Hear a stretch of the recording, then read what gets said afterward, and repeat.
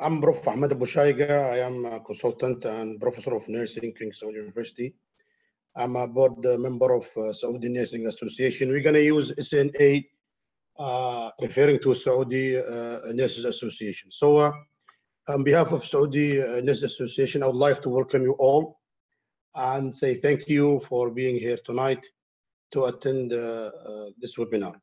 First of all, I would like to say thank you to the Continuous Professional Department, CPD, uh, Affairs and Scientific Association Department at Saudi Commission for Health Specialties for their support and help for making this webinar uh, alive and going.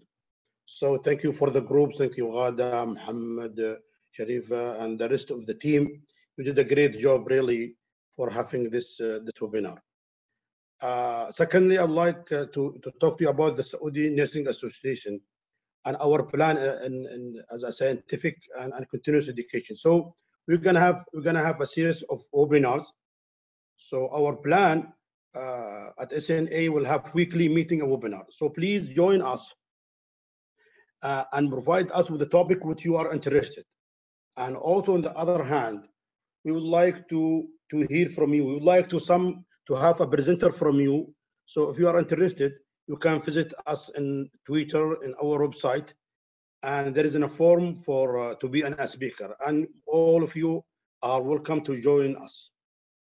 Uh, also, I would like to uh, to utilize this opportunity to encourage you to be a member in the Saudi uh, Nursing uh, Nurses Association.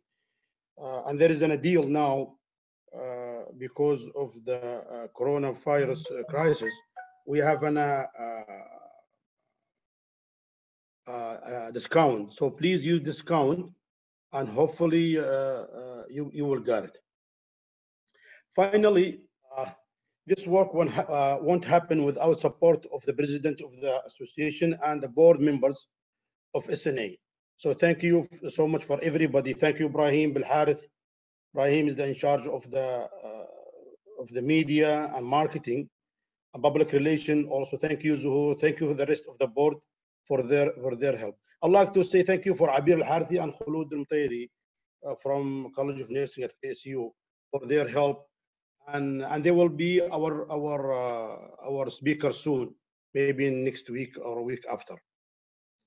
Uh, before I turn the floor to our speaker, I'd like to say thank you, Zainab, for accepting our invitation and being our speaker uh, uh, tonight. Uh, Zainab Al Mohr is a uh, uh, master holder, and uh, she have a bachelor degree from the University before, and she got a master master of nurse practitioner from California, San Francisco. She got a 14 years experience as an um, emergency and trauma uh, uh, nurse.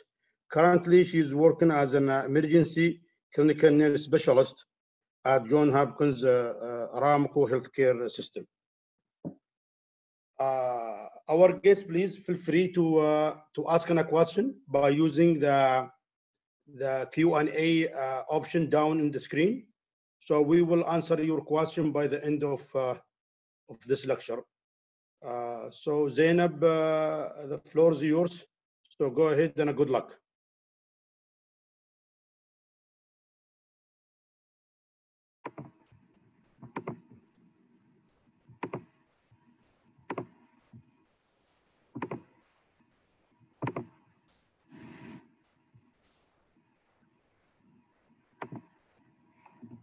Okay, good afternoon. Assalamu alaikum. Thank you, Professor uh, Ahmed Abu Shaiga, for your introduction and welcome.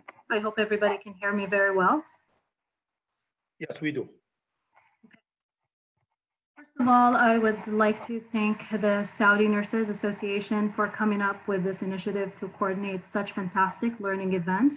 And thank you to everyone who have registered and joined us this evening. I usually like to begin any presentation by explaining the reasoning behind choosing a certain topic. Um, is my video available online?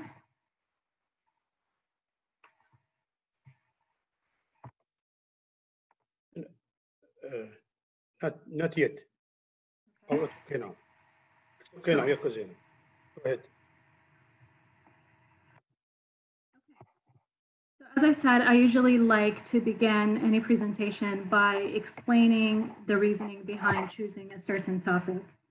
And since pandemics will continue to challenge clinicians, policymakers, public health leaders, they are unexpected and unavoidable events. They are characterized by their uncertain scope, duration, and impact. In light of the current COVID-19 pandemic, we have heard we have heard and seen nurses being in the front line taking care of patients. But what about the nurses' role in emergency preparedness? Nurses are experts in um, in patient care and coordination, and they have the firsthand knowledge uh, of the essential needs during any large Im impact emergency. Nurses should not just be the executors of a surge capacity plan, but they need to be among its development team. As surge capacity becomes a greater focus of discussion and research, especially in the realm of disaster and pandemic planning, um, I feel that it's crucial for nurses to understand this concept and its relevance to their practice. So this is why I decided to choose it as a topic. So this is just our disclosure declaration, have nothing to declare.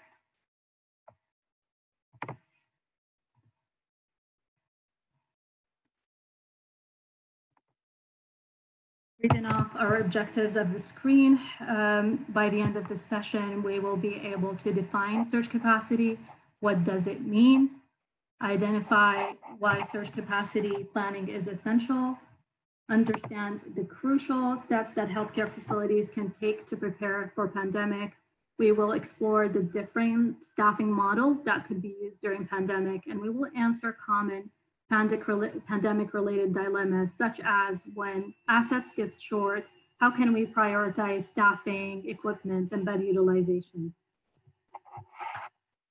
I would like to spend a moment to compare pandemics to other major emergencies um, in order to understand the unique case of about pandemic preparedness generally speaking, we are more prepared for other types of emergencies, such as fires, floods, or explosions, but not as much for pandemics.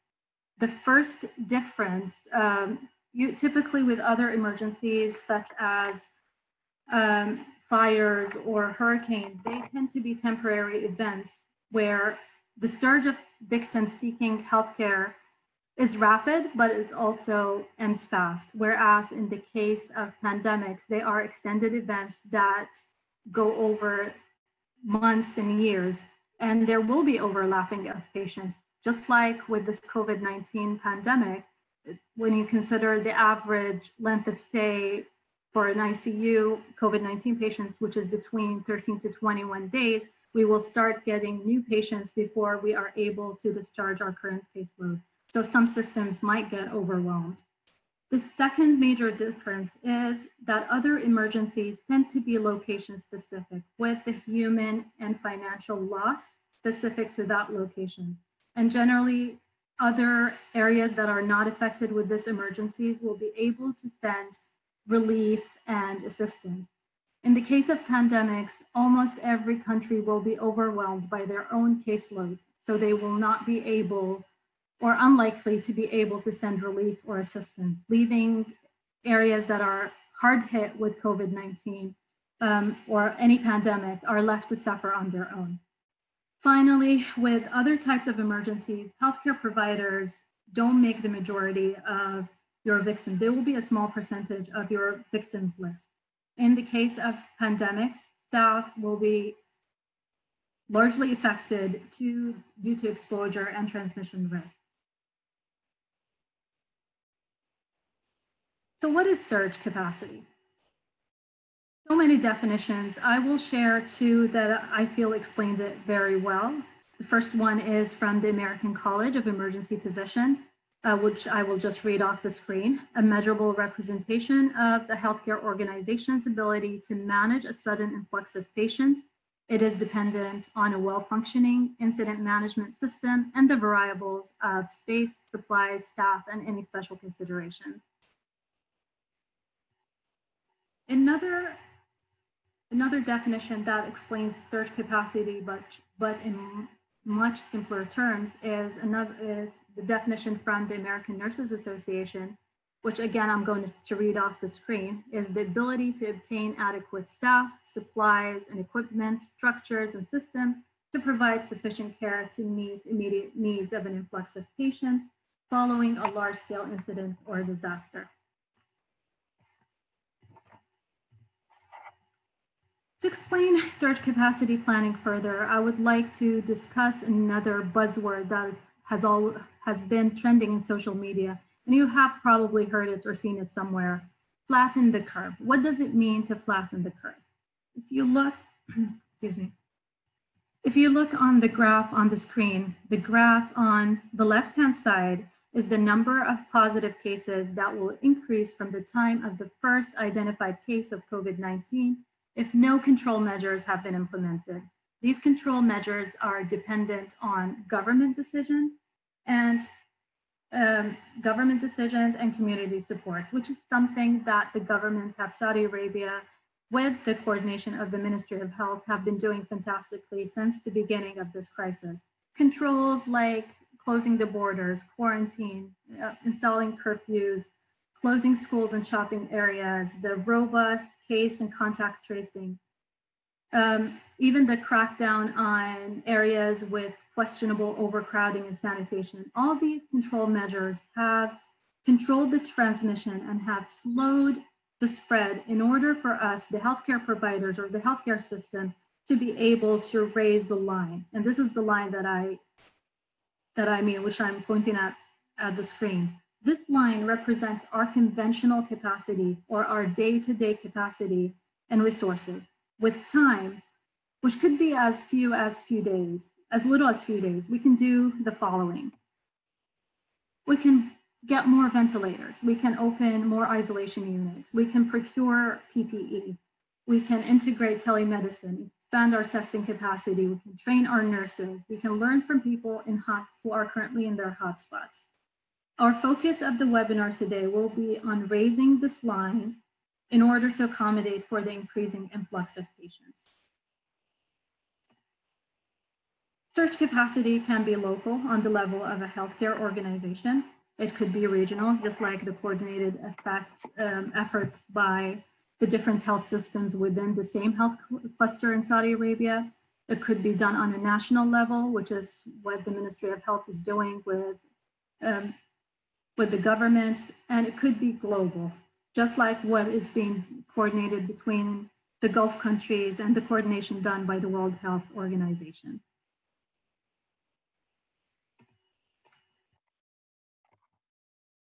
Healthcare facilities um, plans should maximize the conventional capacity, which is the day-to-day -day regular operations and resources, as well as plan for contingency capacity, which means adapting patient care spaces and resources to provide زينب function. Yes, ممكن بس تثبتين المايك لانه في مشكله في الصوت معلش سوري sure. Let's try again. Do you hear me? yes it's good now yes Okay. So as I as I said, we need uh, healthcare facilities need to maximize their conventional capacity, which is the day-to-day regular operations and resources, as well as plan for contingency capacity, which means adapting patient care and resources to provide the same care that we do on a conventional level, but with more with less resources. With the crisis capacity is adapting to the level of care provided and the resources available when the usual care is impossible. So why is surge capacity planning essential? Because effective response is dependent on adequate preparation. It allows the organizations an opportunity to address key safety issues before they become critical. هل الصوت لسه في مشكلة؟ it's okay it's okay now Okay. And to highlight the importance of uh, preparation in addressing identified critical issues, we can look at how some Asian countries uh, like Singapore and South Korea have been successful in their response to COVID-19. because a lot of Asian countries have experienced the devastation, the devastating impact of the SARS epidemic in 2003, they have learned to do better. Not only their government systems have implemented critical controls and their community have supported them by adhering to them, but even the healthcare facilities have implemented their own measures to be ready. I remember attending a webinar from a few weeks back where they had a guest from Singapore who stated that the Ministry of Health in Singapore mandates that healthcare facilities stockpile PPE and essential equipment to last for four to six months for a patient influx up to 100% of their conventional patient, uh, patient load and they need to have a backup plan once they once they start using from that stock. On the other hand, healthcare systems in countries that have been hard hit with COVID-19, such as the US, Italy, and France, have had access to sophisticated software that estimates how long staffing, equipment, supplies, and other resources will last prior to reaching failing level. What was shocking that a majority of the of the large healthcare systems in those uh, countries will start failing within 13 days of an emergency event. And this is what we can see happening with this COVID-19 pandemic. Also, surge capacity planning is essential because it will enhance your staff readiness and resilience. Being prepared can alleviate healthcare staff and anxiety and stress, increase their morale, and will reduce their burnout. So what are the components of an effective surge capacity plan? There are four major components, and for ease, we will divide them into the four S's, staff, stuff, space, and systems. And you can see a poll that, that we have put up. Please vote. I will take just a few moments just to see the results. Which of the four S's do you believe is the most crucial? Staff, stuff, space, systems, or structure?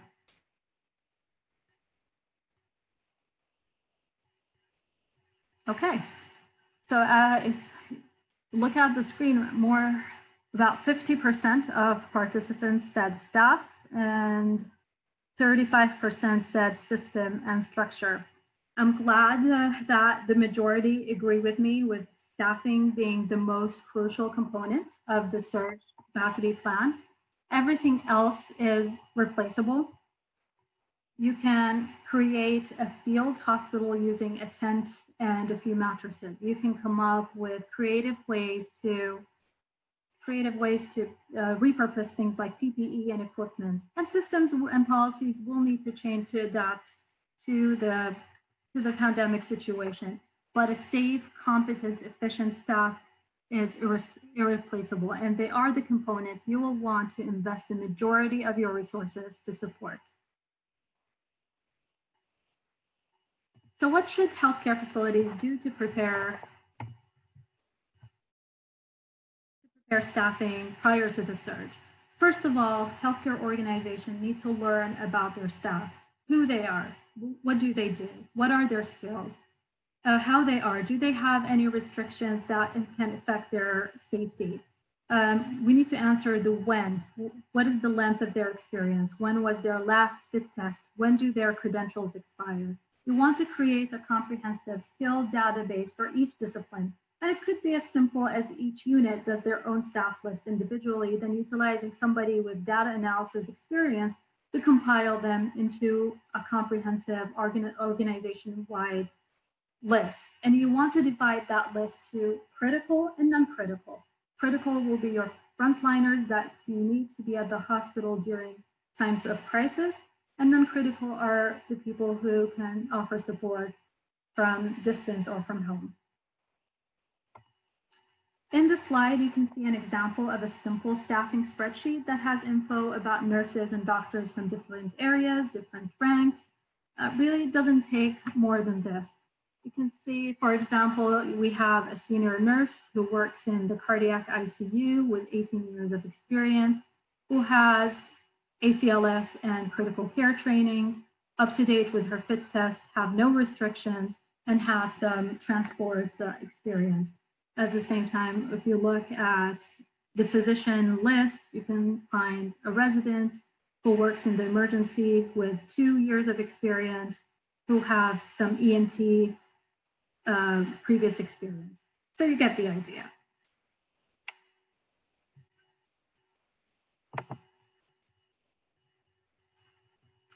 So now, next you want to identify your current critical care frontliners, and they're typically going to be your emergency and ICU staff.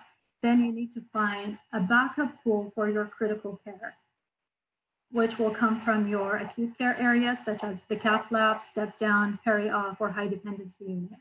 You want to include administrative staff with clinical background, a nursing manager or a nursing coordinator that worked previously in a clinical setting med-surg and outpatient staff, technicians, assistants, nursing interns, students, and volunteers could be part of your backup pool. You want to create groups and teams and assign a team lead. After, once you have the list of critical staff members, you want to start training. The first step is infection control training for any direct patient care providers and you want to do that as a refresher because infection control training should have been done at least quarterly, whether it's a pandemic situation or not. Um, staff need to demonstrate effective hand hygiene, proper sequence of donning and doffing PPE, the correct way to collect nasopharyngeal or oropharyngeal swabs. And you want to make staff familiar with any emerging info, such as the visual triage and epidemiology forms that the MOH have supplied us. Second, critical care training should take place for your backup pool. Keep in mind that you're not going to train a non-ICU or a non-ED nurse to become a critical care nurse overnight. This requires years and years of experience, but you want to conduct training that will help your nurses from your backup pool be able to support your critical care nurses and able to respond to emergency situations. For example, you would want to do micro, BLS, ACLS, PALS refreshers. You want to go over the care algorithms of critical care patients, for example. I find that when you are pressed for time and you need to conduct training effectively and quickly, there is no better way than through simulations, case scenarios, and walkthroughs. Practice, practice, practice. Practice with your teams how you're going to respond when you have your first suspected case if you haven't yet. Simulate a situation where you need to take care of a number of critical patients at the same time and practice assigning tasks and prioritizing care. Practice how you are going to transport a patient from one area to another, for example, from the emergency department to an ICU. Practice triaging a busload of patients that walked into your facility in the same time. You want to practice and practice enough so when you have an actual situation, Staff don't panic. They will just repeat the steps that they have practiced previously. And you want to utilize, of course, online learning.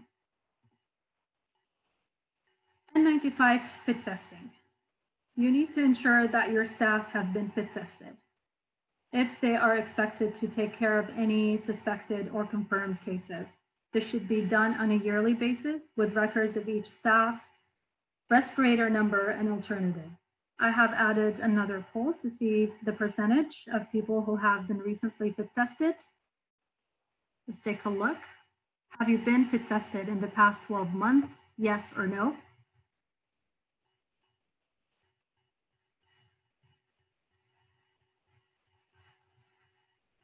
Let's take a moment just to find out about the results.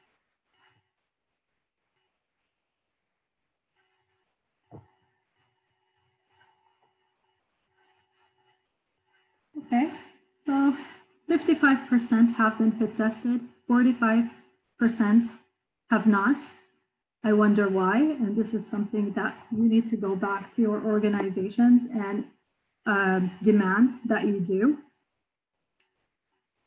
For staff who cannot use respirators, for example, because of facial, facial hair, ensure that they have been trained to use powered air purifying respirators or PAPRs for short, um, and that they know how to put it on, how to take it off, power it, disinfect it, and store it.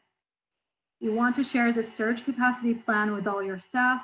And to preserve staffing, you might consider cancellation and rescheduling of annual leaves. Moving on to non-critical staffing, these are your admin staff, your clerks, your accounting, your IT, etc. You want to identify that group of staff. You want to prepare them to work from home if possible. IT is very crucial here for tech support. They need to address accessibility issues and cybersecurity issues. Managers need to assign tasks and timelines. Also, this group of staff can be assigned to low risk tasks such as preparing PPE cards, preparing kits, preparing testing equipment, which anybody can do without a healthcare experience. Moving on to stuff. Stuff will include your PPE, which is your most critical, but also don't forget about things that are consumable, like your medication, your IV fluids, your IV access kits. Also, you need to check for your non-consumables, IV pumps, monitors, defibrillators, ventilators. You want to make sure that they are in good working order. And if pandemic specific items such as test kits, forms, and patient teaching materials uh, need to be ready. What you need to do, what healthcare healthcare facilities need to do prior to surge in terms of preparing for stuff. You need, healthcare facilities need to look at their current supply inventory and estimate how long they're going to last.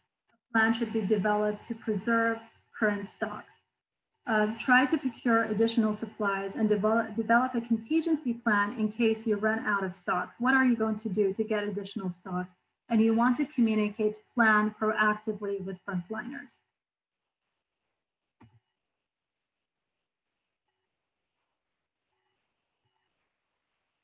Prior to surge, in terms of space, you need to identify healthcare organizations need to identify their current bed status. How many ED beds do we have? How many ICU beds? How many isolation areas do we have? And we need to create new capacity beds, either by opening new isolation wards or expanding our ED and ICU spaces. Also, healthcare organizations need to think and plan for alternative care sites, such as field hospitals, like those set up by some health systems in areas with severe community spread. One of the things that were implemented at Johns Hopkins Aramco Healthcare, where I work, is establishing a drive-through testing where patients would phone in with their information. They would be given a slot to drive through a designated area where a nurse in full PPE would take their swab, and patients would be given instructions on home quarantine, isolation, and home care. Also, the MOH have created COVID-19 clinics in some primary care centers in primary care centers uh, where patients can come in with in pre-assigned slots to be tested and given outpatient care prior to the decision of them going back home uh, for home isolation, transferring them to a quarantine center, or taking them to a hospital for admission.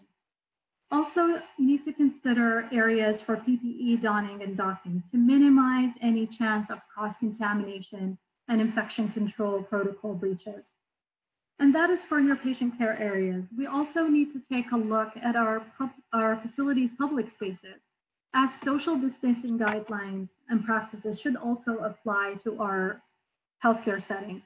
Communal workspaces, such as nurses' stations, are typically compact. We need to redesign those or to rearrange workstations to ensure that there is a distance of 1.2 meter between workstations, offices, and cubicles. Also, we need to look at break rooms, lounge areas, and cafeterias to maintain safe distancing and prevent overcrowding.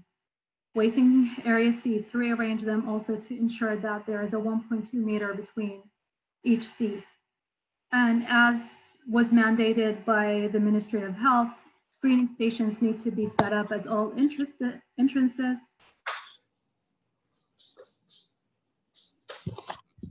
Hello?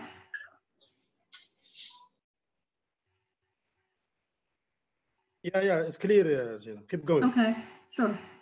And we need to set up respiratory triage areas and segregated waiting areas for suspected cases. Moving on to systems and structures, um, starting with communications. In the case of, because outbreaks and pandemics like the COVID-19 are fluid situations, they are not fully understood. We are dealing with the unknown. Information would change frequently and rapidly, and to keep up with the flood of information and changing rules and guidelines can be overwhelming decide early on who will be communicating with your frontline staff, decide on one person and specific time or times each day to make things more organized. Healthcare facilities need to check their visitation and companion policy, and they need to identify what services to cease operation when they start scaling down. For example, cancellation of elective surgeries and non-urgent patient uh, visits referring patients to the alternative care sites that we have mentioned before, and plan for satellite clinics and telehealth visits. Also, clinical engineering and facilities need to ensure that all vital and emergency equipment are in good working order. Alarms and alert system need to be in place and functioning. Now we are moving on from the pre-surge to the surge situation. When we start having patients showing up to our facilities. It is when we want to redeploy staff from areas that we ceased operations, like the peri-op area, to our critical care backup pool. Most decide on which units this backup pool would be deployed to. Um, after training, you, are they going to work in COVID-19 areas or they're going to work with other patients? Are they going to support your ICU staff or high dependency units versus going to the regular floors? You need to make those decisions when the first patient starts to show it to show up at your facility. Also, because most facilities will not be able to dramatically increase their capacity with the same staffing design as they normally use, each facility will have to redesign their teams given the patient load and available backup care. This is, I will speak about different models in the upcoming slides. Starting with um, a model that was uh, recommended by the Society of, the of Critical Care Medicine, where they recommend a tiered staffing strategy for pandemic, uh, for pandemic situation, where you have an a trained or experienced critical care physician oversees uh, four teams that are led by a non-ICU physician. And in each team, you'll have an IC, four ICU nurses that each will be supervising uh, the care provided by three other non-ICU uh, nurses.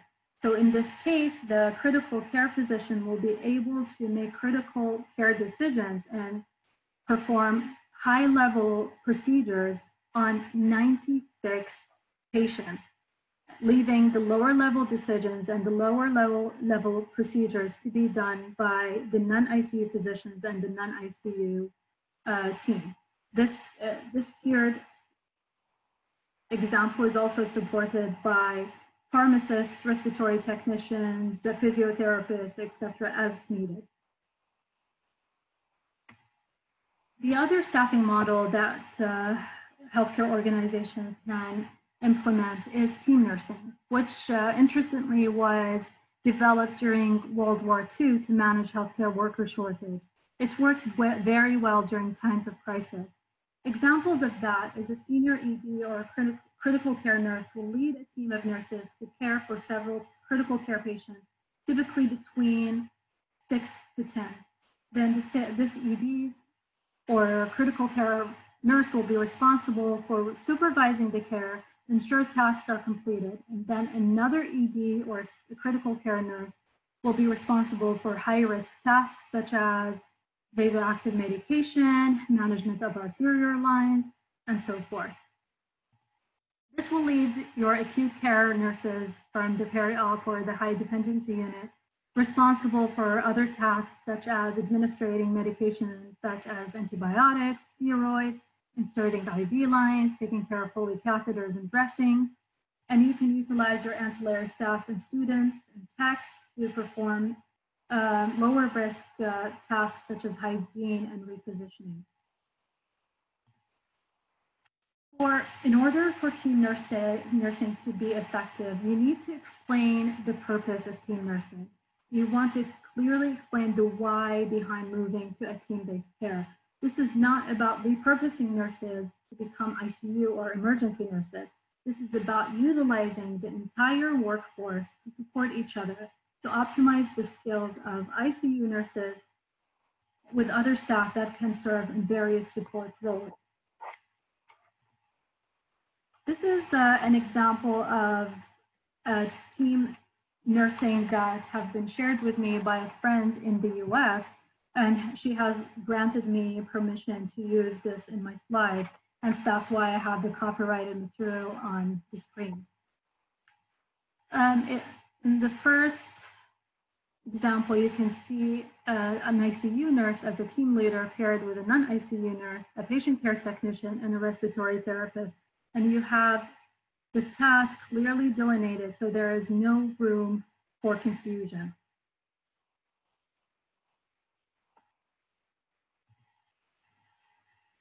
You want to use your scopes of practices and job descriptions as a guide. You don't want to assign a task to someone that they are not licensed to do.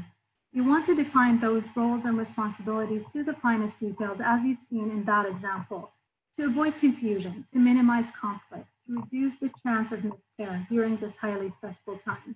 You need to emphasize on communication, communication, and communication, and you would want to provide opportunity for redeployed staff to spend a few shifts shadowing in their host units so they get to know their new team members, get familiar with the geographical and functional layout of the host unit, which will help your deployed staff feel confident, and reduce their anxiety.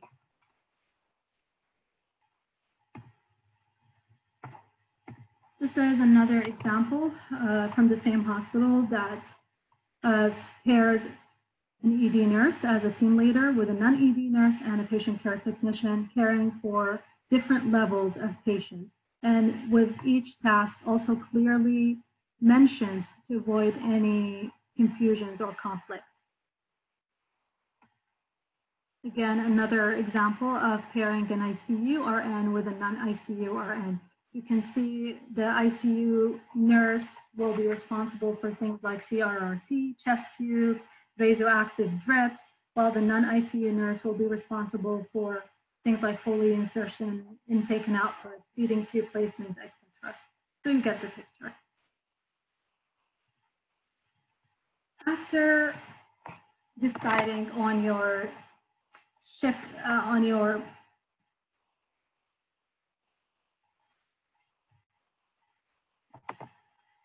once you, once you decide on shifting model, on staffing model, the next step is to choose a shift length. I have seen lots of reports that came from Wuhan, China, as they were the epicenter of the first coronavirus outbreaks.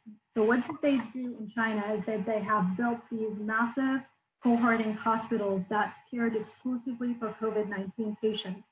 And they have deployed staff from different districts in China. I think the number was around 50,000 doctors and nurses that were deployed to Wuhan.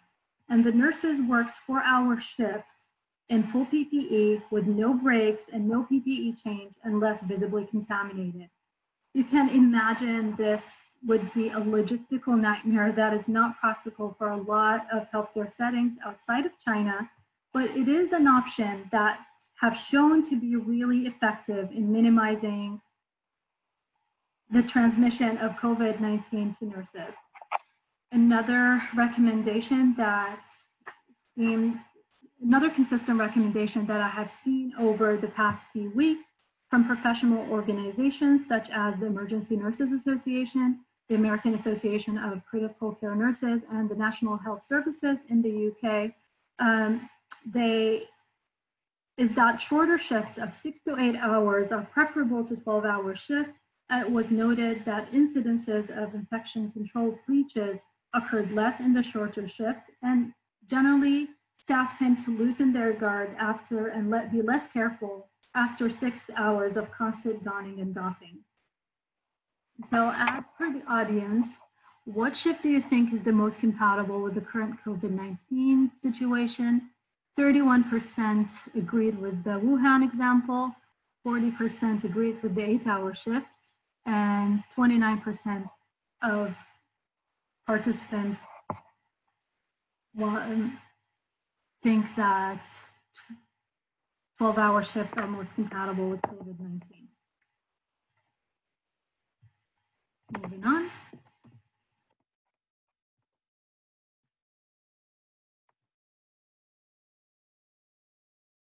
Another staffing model that was used uh, during the Ebola outbreak in 2014 was cycling teams, where staff are divided into two groups, an on shift and, on sh and an off shift.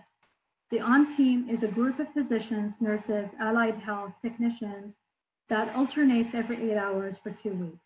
The off team is an equal group of physicians, nurses, allied health technicians that stays home for two weeks and gets ready. Switching teams after two weeks have shown to have benefits. The risk of exposure is less. As the saying goes, not all your eggs are in one basket. Um, you can preserve staffing that way, especially during the early days of a pandemic, as things tend to quiet down before the actual surge happens. It offers a period of rest and recovery. If staff develop symptoms, they have the opportunity to, for recovery during the two weeks of them being on the off team without causing stress on the current staffing levels.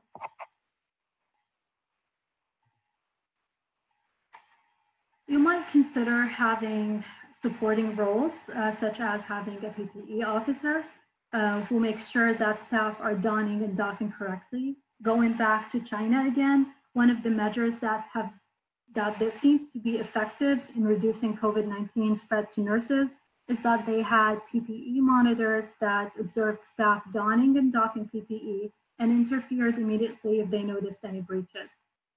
Um, another supporting role could be assigning someone to be a clean or dirty buddy to assist with tasks while wearing full PPE. Um, also, this is something that I personally feel needs to be in every, within every team that is working in a public health emergency, such as a pandemic, having a safety wellness officer that ensures staff have taken their breaks, Staff have access to food, water, bathroom breaks. They alternate staff when there's durations of prolonged PPE wear. If they notice somebody getting overwhelmed, angry, or emotional, they take them to a safe area to compress, to, to decompress, ventilate, especially during difficult or tense situations. Moving on to stuff, I will with surge and equipment, I will focus mostly on PPE because it's the most critical. This is a slide that I obtained from the Emergency Nurses Association COVID-19 micro learning sites, which is titled Preventing Unintentional PPE Loss During COVID-19 in Healthcare Facilities. So we need to track daily use and identify areas of high use, which is self-explanatory. The other two recommendations are to tailor conservatory strategies to care areas and to strategize distribution based on usage. So meaning you need to find a balance between staff being safe and avoiding wastage of resources. So if a unit like the emergency department or the ICU, they, they tend to generally have more aerosol generating procedures such as suctioning or intubating, while another area have less risk, you know, have a lesser risk area. Uh, they don't have aerosol generating uh, procedures or they don't have, they don't take care of COVID-19 patients. So PPE that was assigned to that area could be redeployed to the higher risk area.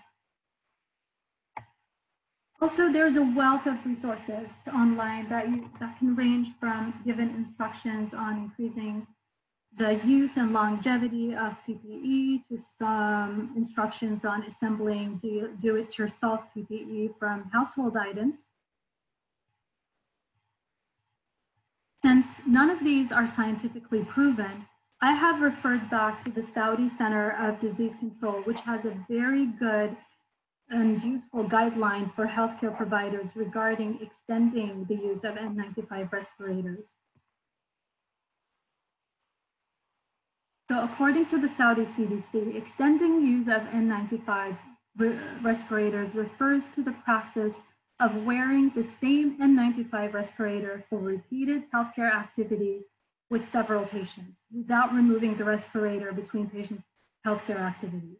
And the extended use could be implemented when you have multiple patients who are infected with the same pathogen and patients are placed together in the same area, whether it's a waiting room or a hospital ward. The major, uh, if you look at the Saudi CDC website, they have a number of Zainab, instructions. sorry to sorry to uh, interrupt you, but uh, Okay, we would like to have uh, 10, uh, 10 minutes for the questions. We have a lot of questions. So if you can, and also there is, there is another request by the end of the lecture, if you can summarize uh, um, in, in Arabic, some of the speaker they asked to summarize in two minutes. I, I know it's not going to be easy to summarize one hour uh, lecture in two minutes, but they some of them they, they have this this uh, this this kind of, uh, uh, of option. So we need to have a 10 minutes for the question. I, I sent you the question to Sure. your to your uh, cell phone. It's a lot. It's really a lot of questions. look. So, so let's finish the lecture now, and then we'll move to the questions. So we'll continue with the, Yeah, but try to, to, to wrap it up so we can have a time for the questions. sure, okay.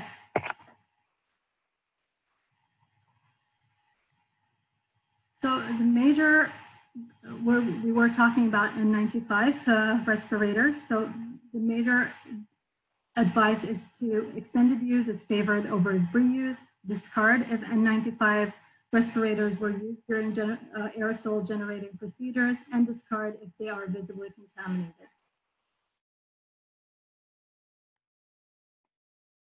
Um, for strategies for optimizing PPE, like if you don't have PPE about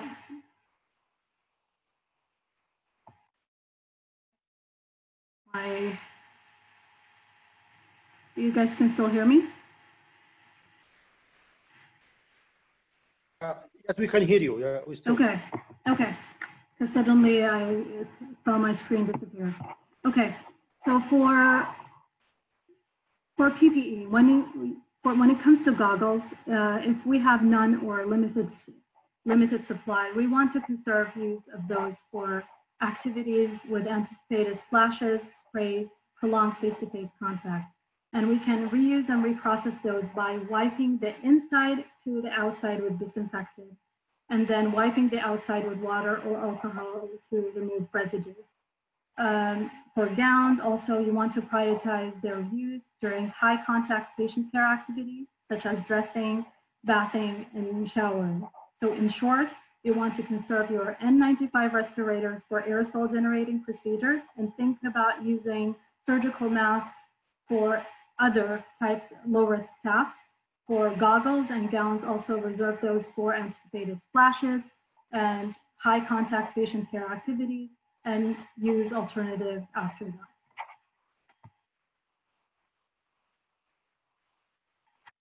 Okay, I'm glad to see that 73% have given, of institutions have given their staff clear guidelines regarding PPE extended use and reuse. Great. There are trends that different health system, systems have come up to tackle the shortage of PPE, like using ultraviolet light or hydrogen peroxide to, for the disinfection of uh, respirators. Um, a recent published study that came out a few days back that, that these methods have been effective, but they are dependent on the operator. And also they can, there's a risk for these procedures to warp the shape of the respirator so a full seal could be compromised. Moving on to space, you want to consider the use of the empty operating theater since you seized up, you canceled most of the non-urgent uh, surgeries. You might think of cohorting patients with the same pathogen or isolation. or cohorting patients from the same household with the same gender and the same type of pathogen. Might consider use of the portable HEPA filters for temporary for temporary areas. Um, open and start operating from alternative care sites. And I want to emphasize on the next point, not only you need to ensure that staff have changing and showering facilities in the light of the recent new instructions by the health minister of Saudi Arabia that healthcare workers should not wear scrubs or lab coats outside of a clinical setting. And to minimize the transmission risk, healthcare facilities need to invest in proper locker rooms and showering facilities for staff to use and designate clean and dirty areas in communal working stations, offices, and break rooms. And in systems, you need to act, decide on who will activate the surge plan. You need to adjust your policies and procedures to accommodate the surge. Again, communication, who and how. You need to think about your documentation. Uh, what is essential? What could we get rid of to make it easier for the nurses?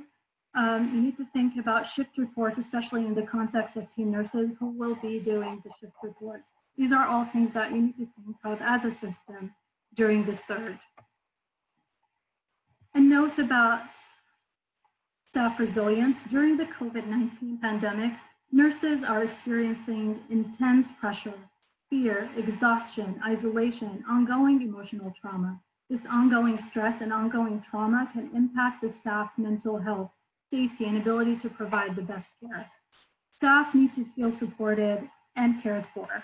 Um, I put a note here for managers that coffees and donuts are nice, but they are not what staff want from you. Staff need to know that you are there to support them, that if they require something to do their job safely, you are going to act accordingly and try to resolve it.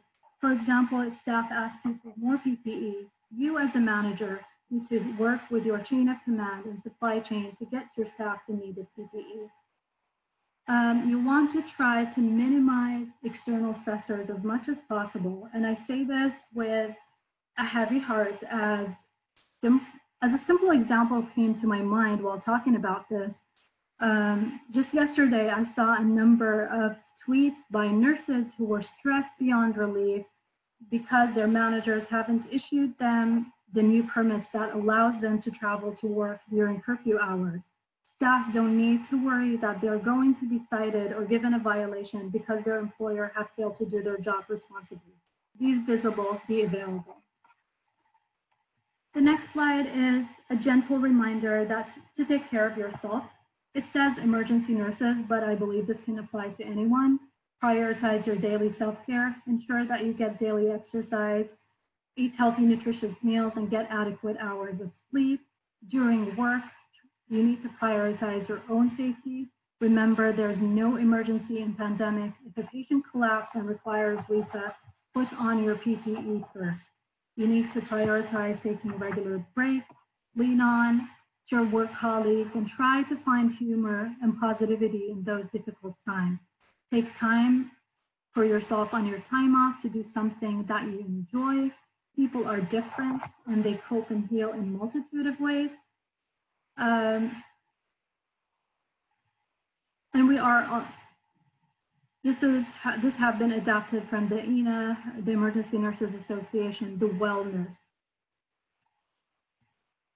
So we have survived the storm. Now what? It's time to go back to our previous way of doing things. For staffing, we need to return to previous model of staffing and scheduling. And please, managers, organize leaves and time off that for leaves that were canceled or rescheduled. First stuff, we need to look at our usage and to procure new stock. Uh, for spaces, we need to uh, establish a timeline for reopening the closed areas and to, for closing extensions and alternative care sites. We need to reschedule canceled surgeries, procedures, and appointments. We can expect there is going to be a backlog of all those that of things that we didn't do because uh, of the COVID-19 um, took precedence over a lot of other stuff. We need to reflect, review, and analyze the decisions that we're taking during surge status, and we need to identify goals for potential surge plans since pandemics tend to have waxing and waning cycles. These are my references.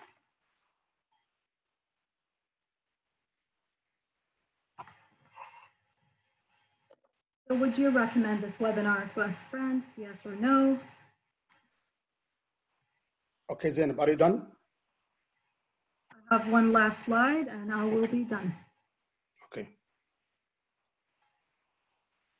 So I will conclude my presentation with a quote from uh, American physicist, Professor Richard Feynman.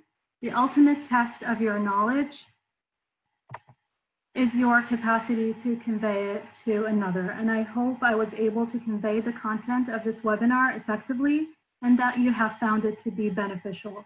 I want you to go back to your workplaces and start to be active in your emergency preparedness plans, regardless of your rank, of your work area, or your experience. Everyone can bring something to the table, and we are in this together. I think you did. I think you you you convey to uh, uh, uh, to others by if you see 95 percent of, of the audience, they believe they will uh, they will uh, recommend this uh, this webinar to others. So That's good great. job. Thank you. I sent you a lot of questions to your to your to your cell phone, but I don't think so. We're gonna answer. We will choose some of those. So one of the question really uh, Okay. one of the staff she asked uh, how to protect myself. I'm a nurse. How to protect it's written in arabic but i'm going to say it in english so everybody Okay. can. How to protect myself uh, if i'm going to work.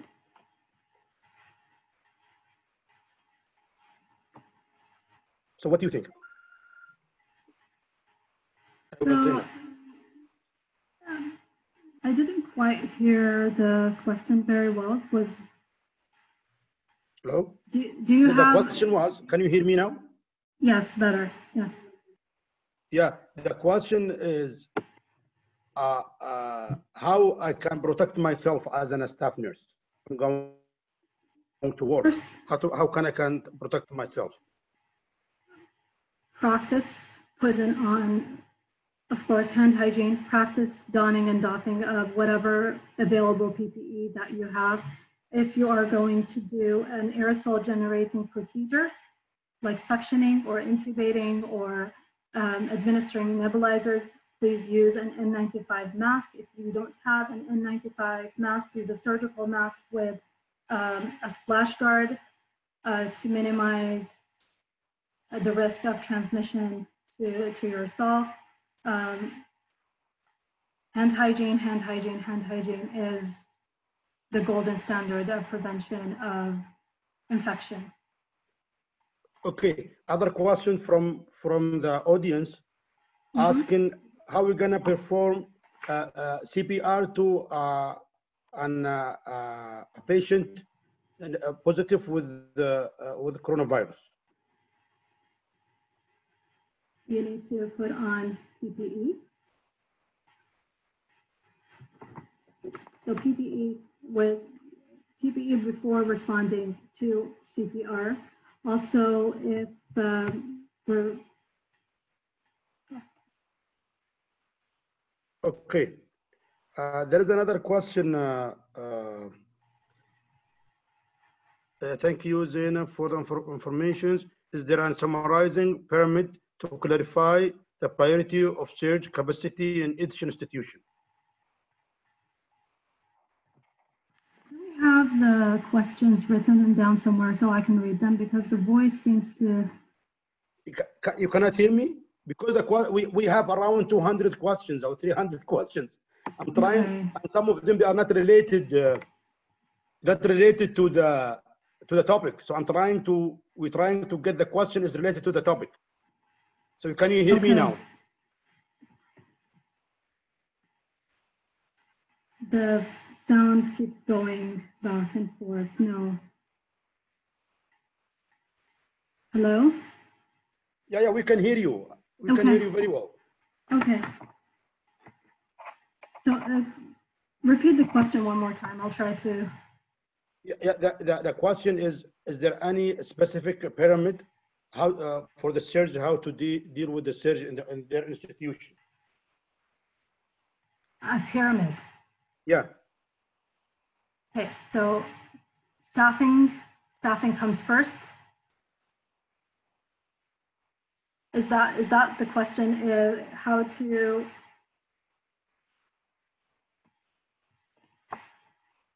I think they are, uh, uh, uh, uh, I'm, I'm not sure if they're asking about uh, the protocol. Is there an, a protocol, uh, a standard protocol, how to deal with the, uh, in, for, for the institution? no, I'm each trying to- institution, each institution will apply their own surge capacity plan. Um, we can utilize is advice from professional organizations like the Society of Critical Care Medicine or the Emergency Nurses Association, but each will be tailored to an organization, um, organization needs, organizational conventional capacity. These are all things that um, need to be considered before taking an advice from a professional society and applying it to a healthcare organization. I hope that answers the question. Yes. We, we have an, uh, a question. Uh, one of the, of the audience said, can, can this presentation be sent to our email as an evidence of guidance to our hospitals? I think some hospitals, they don't have a guidance or guidelines how to deal Mhm. with, with the such. So what do you think? I, uh, have we recorded this? Uh, have we recorded this presentation or not? Yeah, we can, I think we can, uh, if they leave the, uh, the, if they leave the email, the, the, Mhm. the, the one who asked this question, we can share with them. And we can, we can. we can, We can, we can share it in the, in the, in the, our Twitter and the uh, SNA Twitter and in the, in the uh, uh, SNA website. Is it, is it, is it, uh, is it possible? Yeah, I think we can record, even if it wasn't recorded in real time, we can record it in the future and we can provide Yes. it in our social media accounts. Yes, why not? So how about in case of the surge and uh, with the no availability of single room? Mhm. Is it okay to cohort the suspected cases ensuring 1.5 meters between beds? Um, this is a question that we have asked our Saudi CDC, and they have they have said yes. Um, granted that they have the same respiratory pathogen and they don't have any other um, isolation precautions. For example, you cannot put two, you cannot put a COVID-19 patient with another COVID-19 patient who has MRSA or ESBL, for example. But you can cohort uh, a number of patients with the same respiratory pathogens if you don't have enough isolation rooms. So uh, we have an, a lot of questions regarding the training. So how we can train people? I think this is what the, the uh, most other stu- uh, other audience talking about. How who can make sure that our hospital doing a training uh, for the surge plan? So first of all, people need to come together and assess what they need before they start training. And based on those needs that come up, on those deficiencies that come up during tho- those assessments, you need to tackle each you know, deficiency um, and start putting plans for each component. For example, if it's for training, um, you need to look at the skills that uh, are available at, for example, if we're trying to train nurses who don't work in the ICU by nurses who, do- who work in the ICU, we want to look at the skills that we want them to do and we focus on those. So you really need to do assessment planning before you, you move on to your training uh, programs. Um, there are a lot of resources online. Um, the Uh, Saudi uh, by the way, the, the lecture will be, yeah, sorry, Zainab, the lecture will Yeah. be recorded and will be in, uh, uh, again, uh, the lecture will be in the Saudi Commission website. So Okay, everybody that's can- great. It's recorded and it's gonna be available. That, the, I think we're gonna take two more questions, but I have, Okay. Who sets the standard for surge capacity building, uh? It should be your emergency preparedness team in your hospital. Each hospital should, or health institution, each health institution have their own emergency preparedness plan team or coordinators, and they are the ones who will assess um, our current capacity and they will recommend um, interventions to help increase our surge capacity. It could be, it doesn't have to be doctors or nurse, it could be anybody who's working in the hospital.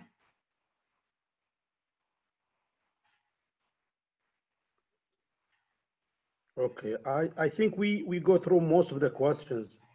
Uh, uh, And uh, I'd like to say thank you, uh, Zainab. You're welcome. Uh, And uh, hopefully we will, uh, we will have you soon in, in in the next uh, uh, webinar. Again, I'd like to thank you, the, uh, the team from the Saudi Commission.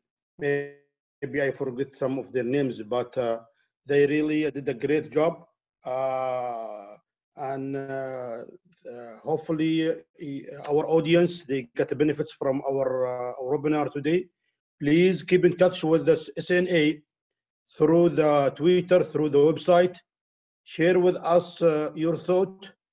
This uh, uh, this association for every nurses, not only for the Saudi nurses, by the. It's for the Saudi and non-Saudi.